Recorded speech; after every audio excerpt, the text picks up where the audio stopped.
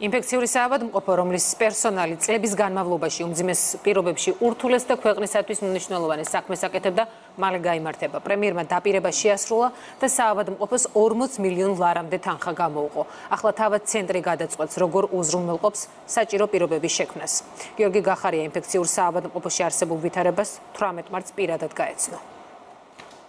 დაზიანებული სახურავები, ამორტიზებული შენობები, შელახული ფასადი და მოძველებული პალატები. ასე გამოიყურება ახლა თბილისის ინფექციური საავადმყოფო, თუმცა ეს რეალობა ძალიან მალე შეიცვლება. პრემიერ-მინისტრის გადაწყვეტილებით კლინიკის კუთვნილი შენობის საყიდლად ან ასაშენებლად 40 მილიონი ლარი გამოიღო. თავრობის მეტაურმა დღეს ამ საავადმყოფოს წარმატებაზე და თანამედროვე სტანდარტების შენობის აუცილებლობაზეც ისაუბრა.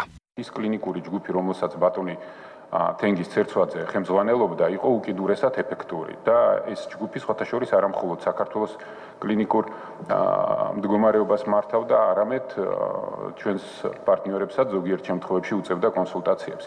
რა თქმა უნდა, ეპიდემიის გავრცელების და რისკების დღევანდელი გადმოსახედიდან უაღრესად მნიშვნელოვანია, რომ ქვეყანაში არსებობდეს თანამედროვე გამართული ინფექციური კლინიკა. რამდენიმე თვის წინ პრობლემების მოგვარების პირობა კლინიკის დირექტორს პირადად გიორგი გახარიამ მისცა. წინა ხელისუფლების პირობებში კერძო კომპანიაზე გასხვისებული ამორტიზებული შენობა სამედიცინო პერსონალს პრობლემებს წლების განმავლობაში უქმნიდა. უჭირდა თანამედროვე და ძვირადღირებული ტექნიკის გამოყენებაც, რადგან წვიმის დროს შენობაში დაავადებებთან ერთად ექიმებს სტიქიასთან გამკლავებაც უწევდათ.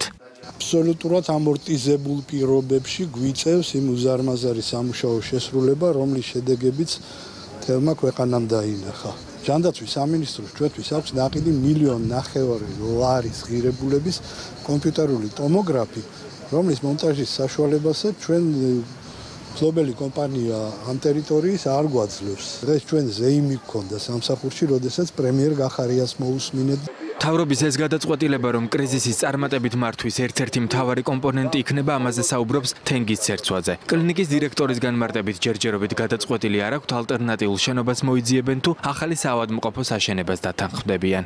შეთვალიერებული გვაქვს, მაგრამ შერჩეული და გადაწყვეტილი არ აგვაქვს. უნდა იყოს თავისი ინფრასტრუქტურით შესაფერისი ინფექციური ინფექციურ დაავადებათა ჰოსპიტალისათვის ეს უნდა მოხდეს დროში რაც შეიძლება ჩქარა, იმიტომ რომ ხედავთ თქვენ რომ არზე მომდგარია პანდემიის მეორე ტალღა ჯანდაცვის სამინისტროში აცხადებენ, რომ შენობის შესახებ გადაწყვეტილება თავად ინფექციური საავადმყოფოს ხელმძღვანელობამ უნდა მიიღოს. უწყება კი კლინიკას დამატებითი ტექნიკის საჭიროების შემთხვევაში დაეხმარება. მთავარი მიზანი არის ის, რომ ის პრობლემები, რაც ცენტრის წინაშე იდგა მრავალი წლის მანძილზე ინფრასტრუქტურის კუთხით, ერთხელ და სამუდამოდ აღმოიფხვრას სამინისტროს კვლავაც დარჩება გარკვეული შესაძლებლობა იმისთვის, რომ აუცილებელი აღჭურვილობა, რაც კიდევ უფრო გააძლიერებს ცენტრის შესაძლებლობებს, შეიძინოს დონორების დაფინანსების კუთხით და ეს 40 მილიონი სუფთა სახით მოხმარდება მხოლოდ შენობას.